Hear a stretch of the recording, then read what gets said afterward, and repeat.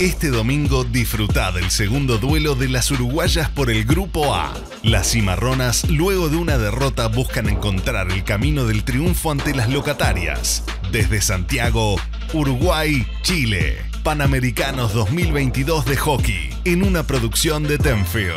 Domingo, en vivo, por BTV Plus.